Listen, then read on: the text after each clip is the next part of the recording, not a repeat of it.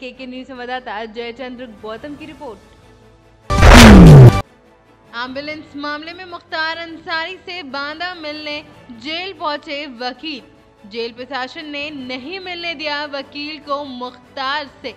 Jail के दरवाजे से बैरंग वापस लौटे मुख्तार के वकील अनिमेश शुक्ला। एंबुलेंस मामले में हाईकोर्ट से बेल की अपील को लेकर बात करने आए थे वकील। वकील के साथ आए मुख्तार अंसारी के बेटे उमर को जेलर ने दी मिलने की इजाज़त। जेलर ने कहा, शासन के आदेश अनुसार वकील नहीं मिल सकते अपने क्लाइंट से। तबीयत तो भाई वो इकसठ साल के हो गए। जब 60 इयर्स के हो गए हैं तबीयत तो निश्चित है खराब होना। ब्लड प्रेशर के मरीज़ हैं शुगर के डायबिटिक हैं, और हार्ट पेशेंट हैं। प्लस साठ साल से ज़्यादा उम्र हो गई है, सोलह साल से जेल में हैं। तो जेनुअन मतलब है कहीं ना कहीं माना जा रहा है कि आगामी चुनाव को लेकर पूरी तैयारियाँ तो नहीं चल रही है कहीं।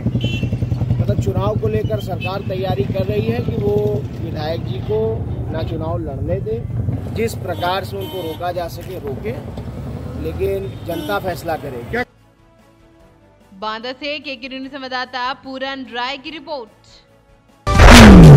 2022 के चुनावों को लेकर भाजपा के द्वारा लगातार तैयारियाँ की जा रही हैं। आज भाजपा के उप मुख्यमंत्री दिनेश शर्मा के द्वारा अलीगढ़ के विधानसभा इजलास में भाजपा के पदाधिकारियों के साथ बैठक में शिरकत की गई, जिसमें उनके द्वारा कार्यकर्ताओं की भीड़ को देखकर डिसीज़न की बात कही कि उन्होंने द्वारा कहा कि अब मानो, लग रहा है कि अलीगढ़ का ताला विपक्षियों के मुँह पर लगकर रहेगा।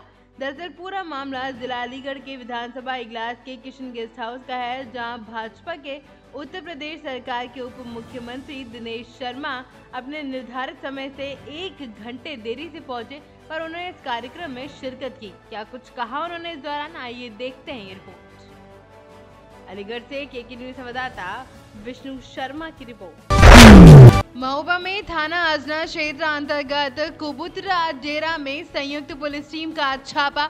2050 लीटर अवैध शराब बरामद। मौके से चार अदद शराबी भट्टी व शराब बनाने उपकरण बरामद। कुल 22 कुंटल लहन को किया गया नष्ट। आज सीओ पुल पहाड़ और उनकी टीम, जिसमें उनके तीन थानों की फोर्स शामिल है, के नेतृत्व में एक बड़ी कार्रवाई की गई है। इसके अंतर्गत थाना अजनर क्षेत्र में 2050 लीटर अवैध शराब बरामद हुई है। चार भट्टियाँ बरामद हुई हैं जिन पर शराब बन रही थी। 22 कुंटल लहन इसमें नष्ट की गई है। साथ ही साथ शराब बनाने के जो उपकरण हैं, वो बरामद हुए हैं और चार अभियुक्तों की इसमें गिरफ्तारी की गई है। इस पूरे अभियान में जो क्षेत्रीय गाँव के जो चौकीदार थे, उनका पूरा सहयोग लिया गया।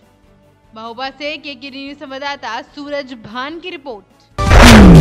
कटनी से पुलिस अधीक्षक सुनील कुमार जैन और अतिरिक्त पुलिस अधीक्षक कटनी श्री मनोज कनेडिया के निर्देशन में कैमोर पुलिस द्वारा विगत आठ वर्षों से न्यायालय पेंडिंग प्रकरण में फरार चल रहे आरोपी पृथ्वी चंद चौहान, पिता सुखदेव चौहान, उम्र तकरीबन 32 वर्ष, निवासी ग्राम धुरियाकोटा थाना सबरही जिला कुशीनगर, उत्तर प्रदेश को कैमोर पुलिस द्वारा कुशीनगर, उत्तर प्रदेश से गिरफ़्तार कर मान्य न्यायालय में पेश किया गया।